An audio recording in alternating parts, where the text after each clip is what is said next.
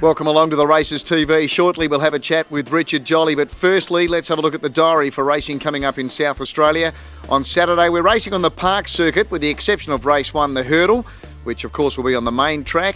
On Wednesday, we're racing at Morphettville again on the park circuit. Next Thursday, we're going racing at Gawler. Before we look at Richard Jolly's runners at Morphettville on Saturday, we might ask you about, well, I guess we should call him the stable star, Richard Kushadasi. What's the latest with him?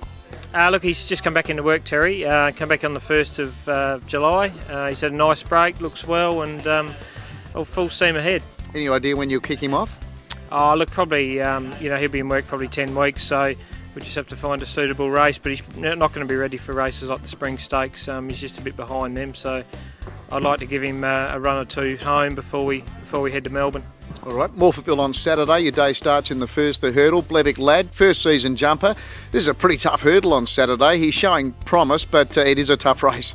Yeah, it is. Look, he won a maiden hurdle and then last start he ran third um, in a um, in a stronger race. But yeah, Saturday's even tougher again, and you know he's probably um, going to struggle against a few of those you know uh, flat flat horses that have won um, 500,000 on the flat going to jump. So they're a bit bit better than him.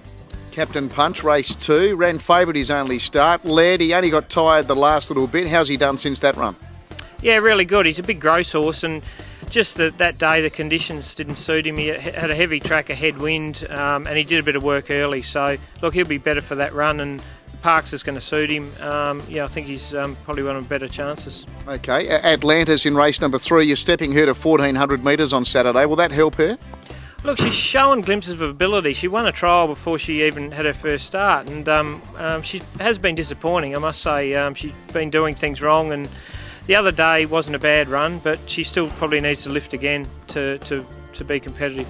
Okay, race number five. You've got a couple of runners here. Firstly, uh, Redeem Bounty. What have you made of his two runs this campaign?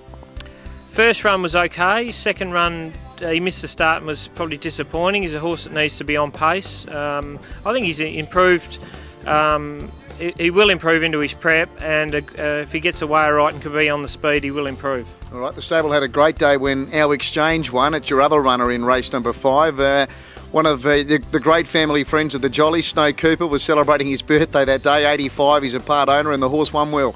Yeah, it was funny because the mother of um, our exchange, Snow, raced, and she won 10 years to the day um, that our exchange did, so it was a bit of a uh, omen for Snow. Um, but uh, look, she's um, probably going to go to the paddock after this run. Done a real good job this time in. Um, she's on the backup, but she has drawn one and she's uh, on speed horse, so the, the parks will suit her. And in the last, Grey Mustang, good win two starts ago on a slow track on the park circuit. Um, what do we take of his last run, failing on a heavy track? Yeah, look, he just he's one on slow, but every time he's got on the heavy, he just finds it he just struggles. So hopefully, um, you know, the Parks will stay to, to that slow seven, and if it does, he'll be a chance. But if it gets to heavy, he, he just uh, struggles in the gun. Okay, finally, let's have a look at a couple of these races from Morphettville on Saturday. We'll have a look at the hurdle, the uh, next of the races in the Over the Rainbow Jumping Series. It's race one on the program. As I said, it's on the main track. That's a really, really strong hurdle race number one there on Saturday. And race number eight, looking forward to that race as well. Weights headed up there by Extra Virgin for Jake Stevens. Some nice horses going around there. Tony McEvoy's got Saint Desire down to resume as well. So that's it for the Races TV this week. Thanks again to Richard Jolly. We'll see you again next week. There's nothing like a day at the races.